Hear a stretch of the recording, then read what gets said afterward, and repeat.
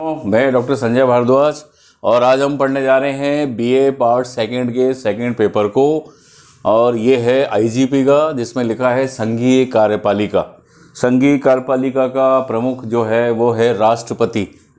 और राष्ट्रपति के बारे में हम पढ़ते हैं तो एक तो बात आएगी उसकी योग्यताएँ, फिर उसका निर्वाचन कैसे होगा, तीसरी बात जो आएगी कि उसका चुनाव अप्रत्यक्ष क्यों होता है कार्यकाल क्या है, उसकी उन्मुक्तियाँ क्या हैं और उसका योगदान।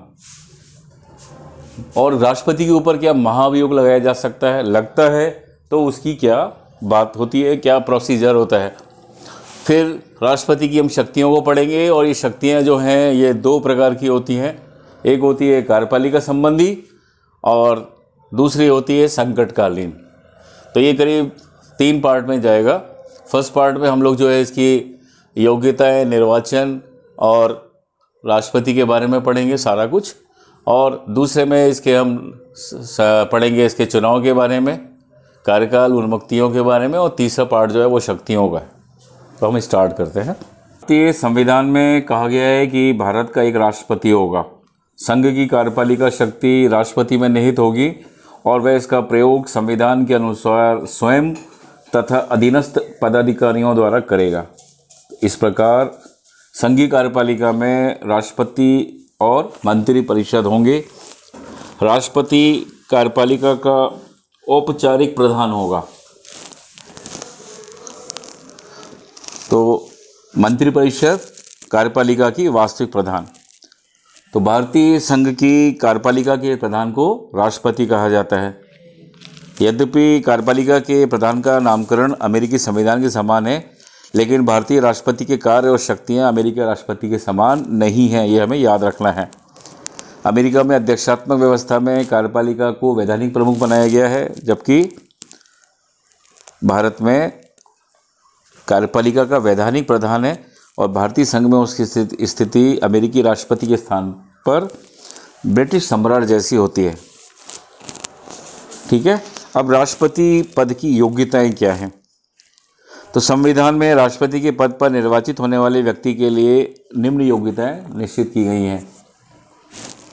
नंबर एक, भारत का नागरिक हो। दूसरा, वह 35 वर्ष की आयु पूर्ण कर चुका हो। तीसरा, वह लोकसभा का सदस्य निर्वाचित होने की योग्यता रखता हो। इसके अतिरिक्त, ऐसा कोई भी व्यक्ति जो भारत सरकार, राज्य सरकार या किसी स्थानीय सरकार के अंतर्गत पदाधिकारी हो राष्ट्रपति के पद का उम्मीदवार नहीं हो सकता। इस संबंध में संघ के राष्ट्रपति, उपराष्ट्रपति, राज्य के राज्यपाल और संघ अथवा राज्य के मंत्रियों को सरकारी अधिकारी नहीं समझा जाएगा। राष्ट्रपति भारतीय संसद अथवा राज्यों के विधानमंडल के किसी भी सदन का सदस्य नहीं होगा। यदि निर्वाचन के पूर्व उसका सदस्य है तो निर्वाचन की तिथि से उसका स्थान उस सभा से रिक्त समझा जाएगा। राष्ट्रपति अपने कार्यकाल की अवधि में अन्य कोई वेतन भोगी पद ग्रहण नहीं कर सकता। तो हमें जब हम ये सारी योग्यताएँ पढ़ते हैं तो कई बार हमें आश्चर्य होता है कि इतनी कम योग्यताएँ राष्ट्रपति के लिए। लेकिन संविधान निर्माताओं ने ये जानबूझकर ऐसा इसलिए किया है कि भारत का प्रत्येक नागरिक इस पद, उच्च पद को प्राप्त करने में समर्थ हो जाए। और ये व्यवस्था जनतंत्रात्मक सिद्धांतों के अनुकूल है। व्यवहार में इस पद पर केवल वही व्यक्ति निर्वाचित हो सकेगा जिसे देश में बहुत अधिक सम्मान प्राप्त हो। वर्तमान में भारत के राष्ट्रपति कोविंद हैं और आप जानते हैं कि वह भी आ, कोई इतने ज़्यादा प्रसिद्ध व्यक्ति नहीं थे और जब वो लाइमलाइट में हैं तब भारत की जनता को उनकी विशेषताओं का पता चला। अब राष्ट्रपति का निर्वाचन राष्ट्रपति के चुनाव के लिए अप्रत्यक्ष निर्वाचन की पद्धति को अपनाया गया है और यह चुनाव एकल संक्रमणीय मत पद्धति के आधार पर होता है। अब आप देखेंगे एकल संक्रमणीय मत पद्धति क्या है। तो अप्रत्यक्ष निर्वाचन है राष्ट्रपति का। इस राष्ट्रपति का चुनाव अप्रत्यक्ष रूप से ऐसे निर्वाचक मंडल द्वारा किया जाएगा जिसमें नंबर एक संसद के दोनों सदनों के निर्वाचित सदस्य नंबर दो, राज्य विधानसभाओं और सत्तरवें संवैधानिक संशोधन उन्नीस सौ बानवे के अनुसार संघीय क्षेत्रों की विधानसभाओं के निर्वाचित सदस्य सम्मिलित होंगे। राष्ट्रपति के निर्वाचक मंडल में राज्यों की विधानसभाओं और अब संघीय क्षेत्र की विधानसभाओं को इसलिए सम्मिलित किया सम्मिलित किया गया है कि राष्ट्रपति न केवल केंद्रीय शासन वर्ण संपूर्ण भारतीय संघ का प्रधान होता है। संविधान सभा में पंडित जवाहरलाल नेहरू ने कहा था कि राष्ट्रपति के निर्वाचक मंडल में संघीय संसद के साथ साथ राज्यों के विधानमंडल के सदस्यों को सम्मिलित कर इस बात का प्रयत्न किया गया है कि राष्ट्रपति का निर्वाचन दलीय आधार पर न हो और संघ के इस सर्वोच्च पद को वास्तविक रूप में राष्ट्रीय पद का रूप प्राप्त हो सके। अब एकल संक्रमणीय मत पद्धति क्या है? संसद तथा राज्यों और संघीय क्षेत्रों की विधानसभाओं के निर्वाचित सदस्यों द्वारा राष्ट्रपति का चुनाव आनुपातिक प्रतिनिधित्व पद्धति के अनुसार एकल संक्रमणीय मत मतलब सिंगल ट्रांसफरेबल वोट द्वारा होगा।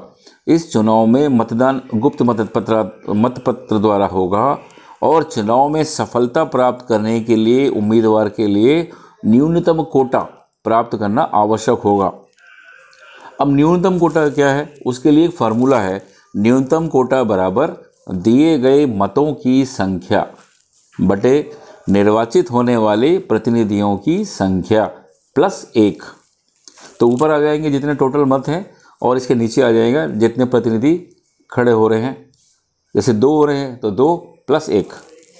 न्यूनतम कोटा की व्यवस्था क्यों की गई है? ताकि स्पष्ट बहुमत प्राप्त होने पर ही एक व्यक्ति को राष्ट्रपति का पद प्राप्त हो सके, जिससे इस पद के अनुकूल सम्मान का पात्र हो सके। इस पद्धति के अंतर्गत प्रत्येक मतदाता के द्वारा अपने मतपत्र में उतनी ही पसंद व्यक्त की जाती है, जितनी संख्या में राष्ट्रपति पद के उम्मीदवार होते हैं। जैसे, सर्वप्रथम पहली पसंद में प्रथम वरीयता ए लिख दिया। पहली पसंद के मतों की गणना में किसी उम्मीदवार को चुनावी कोटा मतदाताओं का स्पष्ट बहुमत मिल जाता है। तो ठीक तो दूसरी पसंद के मतों की गणना फिर नहीं की जाती। लेकिन यदि पहली पसंद के मतों की गणना से किसी भी उम्मीदवार को चुनाव कोटा प्राप्त ना हो तो फिर दूसरी, फिर तीसरी पसंद के मतों की गणना की जाती है। जनप्रतिनिधित्व के आधार पर मतदाता के मत का मूल्य निर्धारण। अब मूल्य निर्धारण एक मत का कैसे होगा? क्योंकि कई बार ये सवाल आ जाता है कि राजस्थान के एक मत का क्या होगा मूल्य और आसाम के एक मत का मूल्य क्या होगा?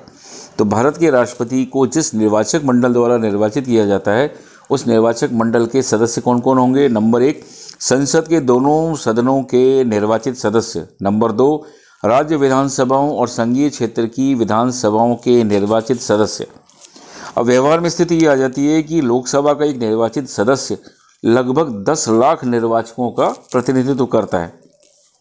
अब हम उत्तर प्रदेश राज्य की विधानसभा का सदस्य देखें तो लगभग ढाई लाख मतदाताओं का प्रतिनिधित्व करता है, लेकिन सिक्किम और अरुणाचल प्रदेश के विधानसभा सदस्य केवल कुछ हज़ार जनता का प्रतिनिधित्व करता है।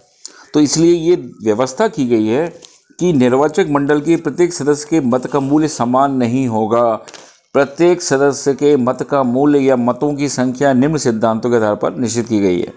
पहला, भारतीय संघ के कुछ राज्यों, विशाल राज्यों की विधानसभा के सदस्य अधिक जनसंख्या का प्रतिनिधित्व करते हैं और कुछ राज्य जो छोटे हैं या संघीय क्षेत्र की विधानसभाओं के सदस्य कम जनसंख्या का प्रतिनिधित्व करते हैं। तो राष्ट्रपति के चुनाव में विधानसभा के प्रत्येक सदस्य के मत का मूल्य उस अनुपात में निश्चित होता है, जितनी जनसंख्या का वह प्रतिनिधित्व करता है। दूसरा सिद्धांत सिद्धांतता ये अपनाया गया है कि राष्ट्रपति के चुनाव में केंद्र तथा राज्यों का बराबर का हिस्सा होना चाहिए।